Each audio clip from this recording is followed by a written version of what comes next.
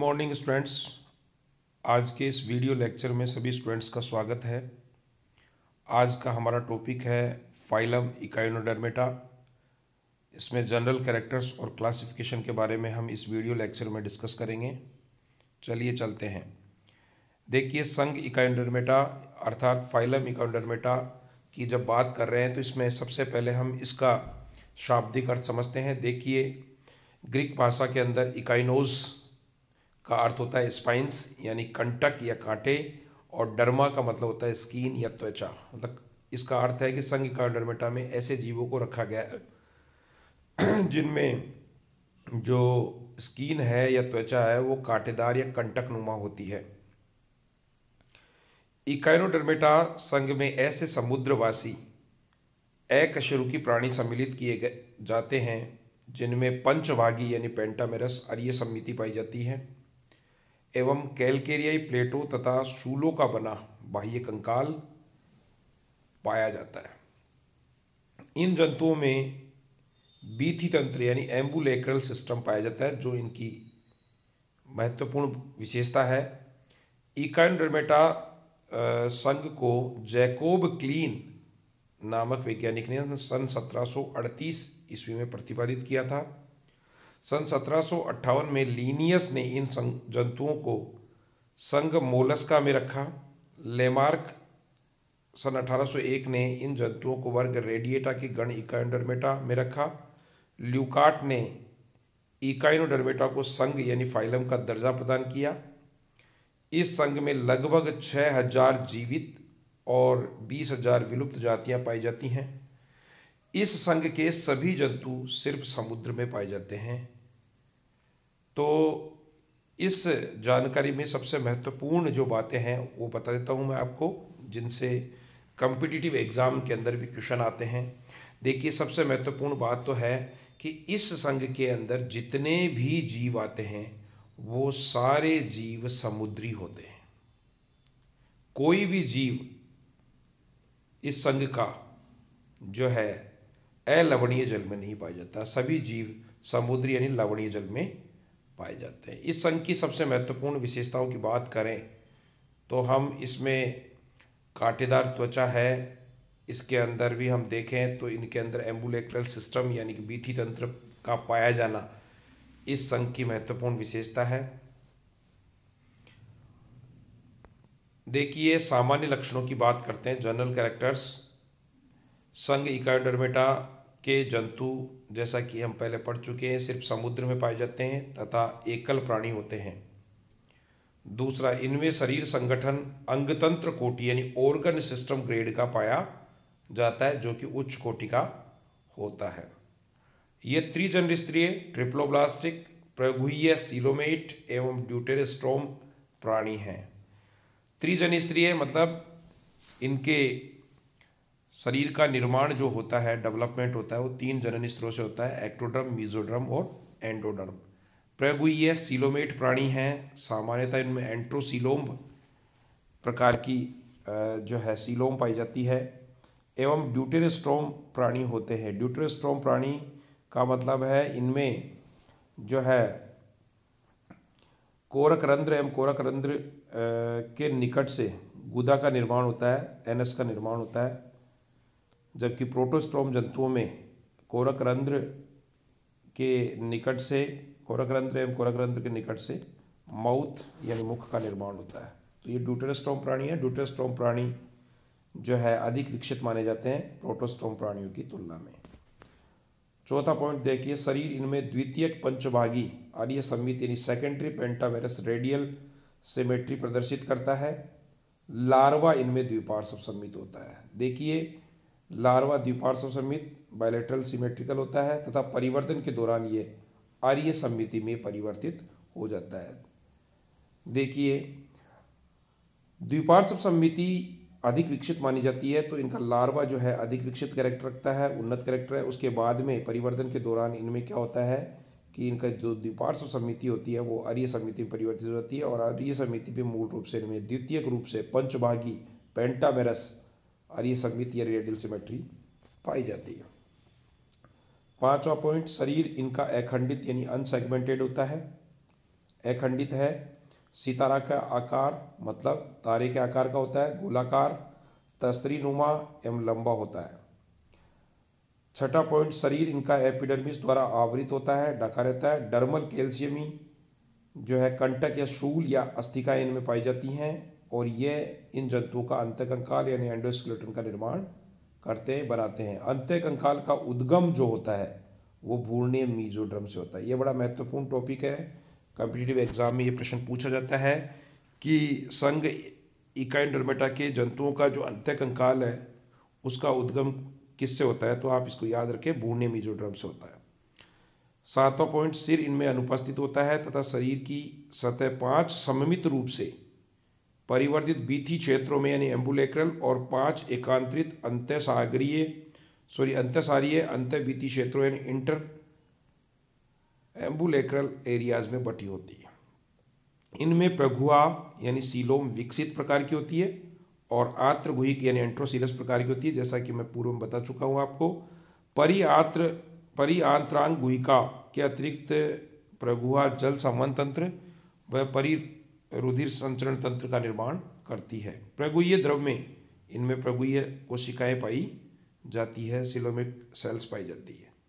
नवा पॉइंट देखें, गमन हेतु इनमें पादाब यानी पूड़िया या नाल पौधों यानी ट्यूब फिट सहित जल संबंध तंत्र, वाटर वेस्कुलर सिस्टम पाया जाता है।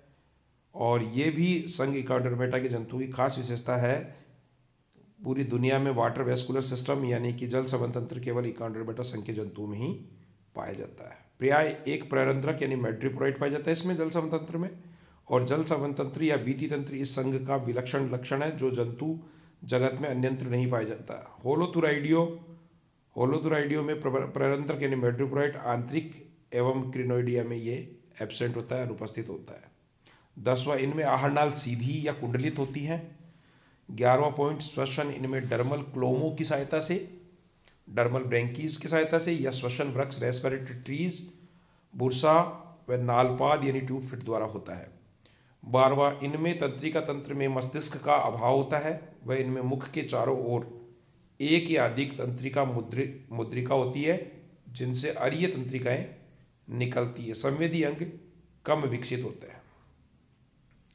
तेरहवा पॉइंट देखिए, परिसंचरण तंत्र के रूप में इनमें रुधिर या हीमल तंत्र, हीमल सिस्टम या वह परिरुधिर या पेरीहीमल तंत्र सिस्टम पाया जाता है। चौदवा देखिए पॉइंट अरिय नाल से संबंध। टिडमान काय टिडमांस बॉडी पाए जाते हैं, जो अमीबोसाइट्स का निर्माण करते हैं।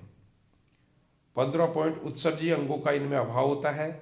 सोलवा, सामान्यतः एक लिंगाश्री यानी मोनोसियस जनद यानी जनन ग्रंथि इनमें बड़े होती है, एक या अनेक हो सकती है संख्या में। निषेचन इनमें बाह्य होता है एक्सटर्नल निषेचन होता है और बाह्य निषेचन हमेशा जल में होता है। परिवर्तन अप्रत्यक्ष प्रकार का होता है। अप्रत्यक्ष प्रकार का परिवर्तन होने का मतलब है कि इनके जीवन काल में, इनके परिवर्तन में लार्वावस्था पाई जाती है। उन्नीसवा पॉइंट स्वतंत्र प्लावी लार्वा इनमें पाया जाता है और बीसवा पॉइंट है, इनमें पुनरुद्भवन, यानी कि रीजनरेशन की क्षमता अत्यधिक पाई जाती है। सभी भुजाएँ काट देने पर भी सभी भुजाएँ इनमें पुनः प्राप्त कर ली जाती है, पुनः बन जाती है। वर्गीकरण की बात करें क्लासिफिकेशन संघ इकाइंडरमेटा का वर्गीकरण शरीर आकार के आधार पर किया जाता है। संघ इकाइंडरमेटा को मूल रूप से दो उपसंघों में विभाजित किया गया है। पहला उपसंघ फ़र्स्ट, एलुथेरोजोआ। इस उपसंघ की बात करें, इस उपसंघ में स्वतंत्र जीवी इकाइंडरम प्राणी शामिल किए गए हैं। इस उपसंघ को भी फिर चार नीचे दिए गए संवर्गों में क्लासेज में बांटा गया। पहला देखिए वर्ग एस्टिरोइडिया क्लास एस्टिरोइडिया में पहला इसमें सागर तारा, यानी सी स्टार्स या सितारा मछलियाँ, यानी कि स्टार फिशेज आती हैं। दूसरा, इनमें केंद्रीय बिंब, यानी सेंट्रल डिस्क से स्पष्ट रूप से पृथक न होती हुई पाँच या अधिक भुजाएँ इनमें पाई जाती है। तीसरा पॉइंट शरीर इनका चपटा होता है।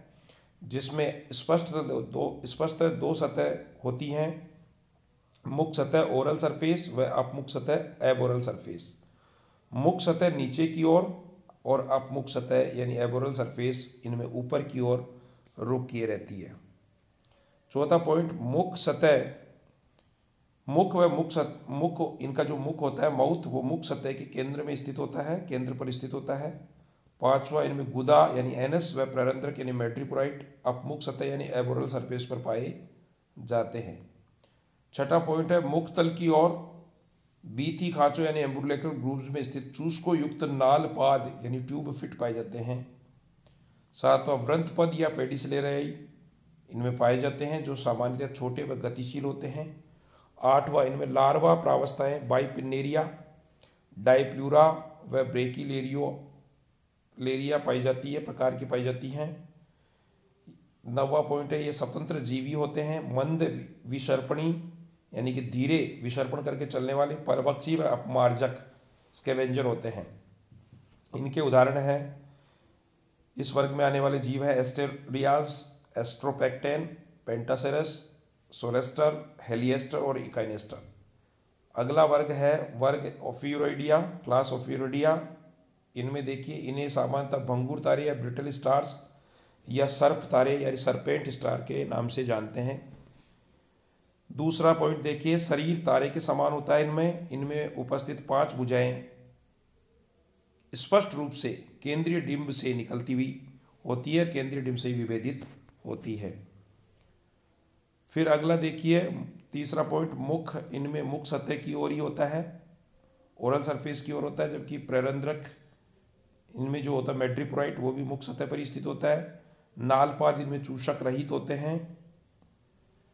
और पेडिसिलेरियाई इनमें एबसेंट होती हैं। इनमें आमाशय कोष के समान होता है, सेक के समान होता है, एवं गुदा या एनस का इनमें अभाव होता है। यह इनका बड़ा महत्वपूर्ण करेक्टर है। अपचित भोजन का बहिक्षेपण भी मुख मार्ग द्वारा ही होता है।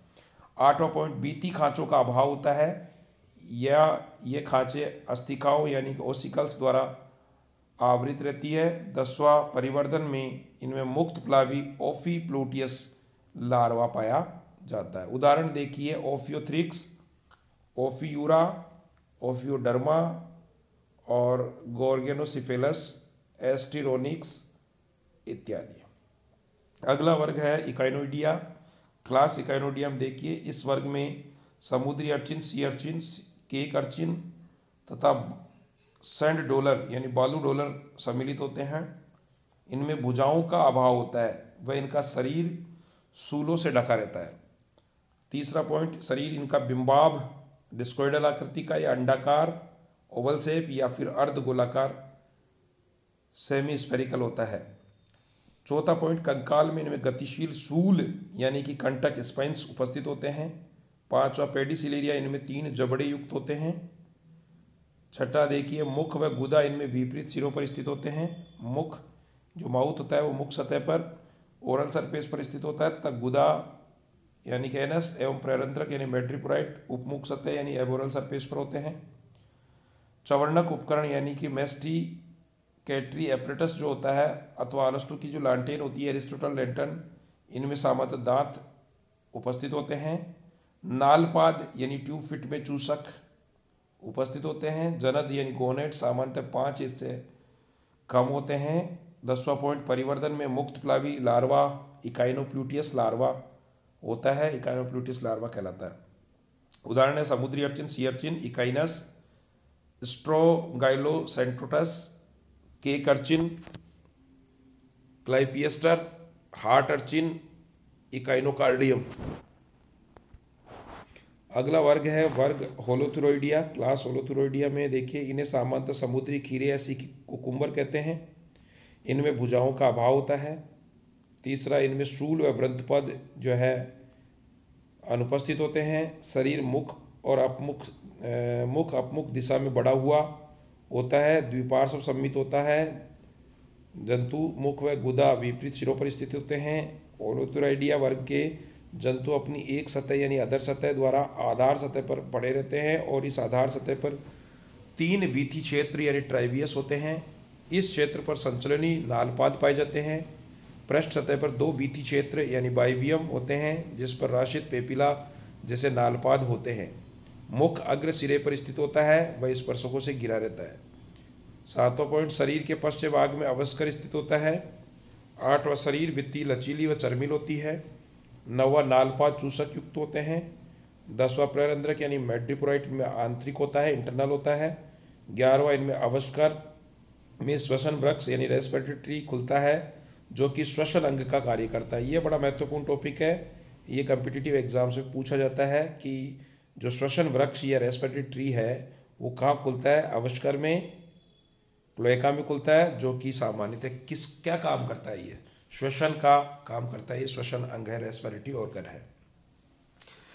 बारहवा पॉइंट है, लार्वा प्रावस्था इनमें ओरिकुलेरिया कहलाती है। उदाहरण है, होलोथुरा, होलोथुरिया, कुकुमेरिया, थायोन और एक्टिनोपाइगा। उसके बाद में उपसंग पेलमेटोजोआ में जो जंतु है, वो सव्रंत होते हैं, स्थानबद्ध जंतु होते हैं। इसमें वर्ग है, क्रिनोइडिया क्लास क्रिनोइडिया में देखिए, इन्हें सामान्य समुद्री लिलीज कहते हैं अपन। समुद्री लिलियाँ कहते हैं। दूसरा पॉइंट इन प्राणियों का शरीर जीवन के कुछ समय के लिए, या संपूर्ण जीवन के लिए एक अपमुख व्रंत द्वारा जो है, जुड़ा रहता है स्टाक द्वारा जुड़ा रहता है। शरीर में केंद्रीय बिंब प्यालेनुमा कैलिक्स बनाती है, जिनसे, जिससे पाँच भुजाएँ जुड़ी रहती हैं। प्रत्येक भुजा अपने उद्गम के पश्चात विभाजित हो जाती है। भुजाओं पर पिच्चिकाएँ या पेन्यूल्स पाए जाते हैं। मुख व गुदा, मुख सतह पर स्थित होते हैं तथा मुख सतह ऊपर की ओर होती हैं। आहार नाल, यू आकार की होती हैं, पक्षमाविक बीथी खांच मुख सतह की ओर होती है, जो भुजाओं के सिरों पर समाप्त होती है। सातवां पॉइंट है नालपात चूसक विहीन होते हैं इनमें। पेडिसिलेरिया का अभाव होता है, एबसेंट होते हैं पेडिसिलेरिया। प्रेरंदर यानी मेट्रिप्रोइट और सूल यानी स्पाइंस अनुपस्थित हैं। दसवां पॉइंट परिवर्तन में मुक्त प्लावी जो है, एक लार्वा, विटलेरिया लार्वा, साथ ही सेवरंत पेंटाक्रोनाइड लार्वा अवस्था इनमें पाई जाती हैं। उदाहरण एंटीडोन न्योमेट्रा मेटाक्राइनस इत्यादि। संघ इकाइंड मेटा के वर्गीकरण की रूपरेखा देखिए। इसको मूल रूप से हमने दो उपसंगों में बांटा है उपसंग एल्यूथेराजोआ और पेलमेटोजोआ उपसंग। देखिए, उपसंग पहला जो है एल्यूथेराजोआ है, इसमें स्वतंत्र जीवी इकाइंड्रम जंतु रखे गए हैं, जबकि पेलमेटोजोआ उपसंग में स्थानबद्ध और सैव्रंत जंतु रखे गए हैं। एलिथेराजोआ उपसंग के अंदर, जिसमें स्वतंत्र जीवी कांड्रम जंतु रखे गए हैं, उसको मूल रूप से चार वर्गों में बांटा गया है। क्लास एस्टिरोइडिया, जिसके उदाहरण है एस्टेरियाज, एस्ट्रोपैक्टेन, सोलेस्टर और पेंटासिरस। दूसरा वर्ग है ओफियोरोइडिया क्लास ओफियोडिया जिसका उदाहरण है ओफियोथ्रिक्स ओफियोरा ओफियोडर्मा गोर्गोनोसिफेलस और ओफियो ओफियोलेपिस इसी प्रकार वर्ग तीन में देखिए इकाइनोडिया में उदाहरण है इकाइनस, स्ट्रोंगाइलो, सेंट्रोटोजस, क्लाइपियस्टर, इकाइनोकार्डियम। वर्ग चार के अंदर ओलोथुराइडिया में उदाहरण है ओलोथुरिया, कुकुमेरिया, थायोन, सिनेप्टा। जबकि पहले बटो जो जो स्थानबद्ध और सैवरंत इकांड्रम जंतुओं का जो उपसंग है, उसके अंदर एक ही वर्ग है, क्रिनोइडिया, जिसका उदाहरण है एंटीडोन। Thank you